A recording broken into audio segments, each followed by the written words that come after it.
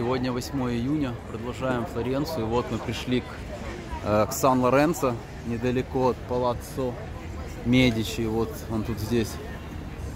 Э, странно, что мы столько ходили. Это такое же, в принципе, огромное, огромный такой же собор, как и, как и Санта-Мария-дель-Фьоре. Похоже, но без но без э, мраморной обработки. Очень много картин здесь, но она такая без помпезности. Но здесь э, склеп Медичи находится и библиотека. Ну, это сам здесь с музеем, потому что вход платный.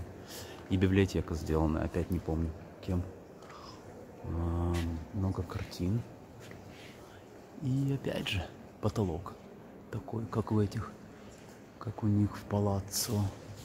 А, орган вообще непонятно. Орган, это второй раз вижу орган за, за алтарем. Вон за алтарем орган и один сбоку. Один сбоку. Ух ты, красивые какие-то усыпальни здесь. Один сбоку, вот здесь.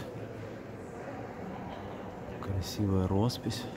Здесь есть, можно загрузить приложение, но с интернетом не особо получается. Здесь две такие усыпальни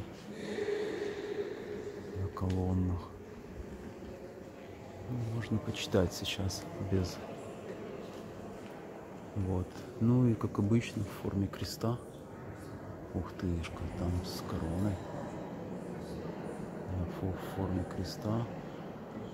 Красивый купол, но небольшой. И здесь музей, вход влево. Ну, наверное, скорее всего, здесь вход в музей. Здесь знаменитая картина Филиппо Липпи «Благовещение». Сюда ее определили. Мы еще ищем захоронение Медичи. Монтоя сказал, что это захоронение, но это две кафедры, сделаны самим Брунеллески. Одна и вторая. Наверное, на лестницах люди сюда залезали. И вот мы вошли в усыпальницу Медичи. Вот, это родители Козима снаружи. Козима и его сын. Тоже построен был на леске. Усыпальница Медичи. А это вот здесь. Это здесь библиотека Медичи. А, в том же том же, этом, в той же базилике Сан-Лоренцо на втором этаже вот такая вот старинная библиотека. Так прикольно. Потолок вот такой деревянный. И вот здесь так интересно, что на каждом вот этом вот это книги какие были, наверное, грамматика, вон философия,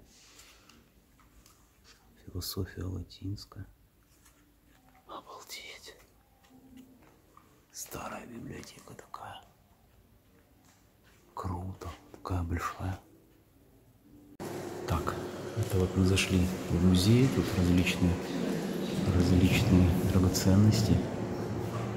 Сан-Лоренцо. И вот эта интересная штука. Реликвии всяких святых. Вот в этих маленьких отделах кусочки костей.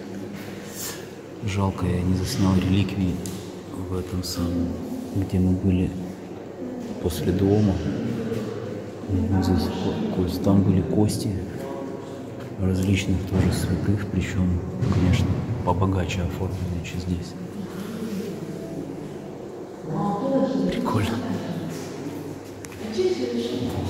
Такие вот всякие тут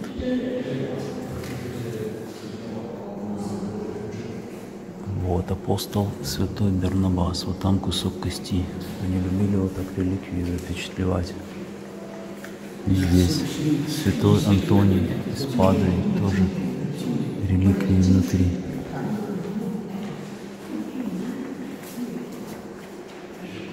О, а тут прям целые кости. Целые кости различных различных святых. Обалдеть, даже черепа.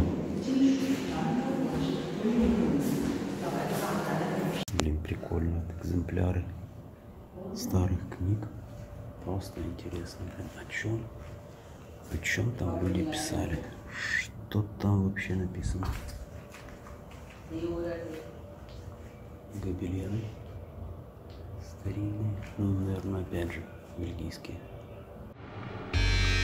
Sometimes I feel like a mother